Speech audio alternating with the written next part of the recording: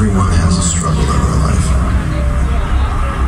The question is, do you allow yourself to be overcome by it? Or do you master it with unified strength of your own?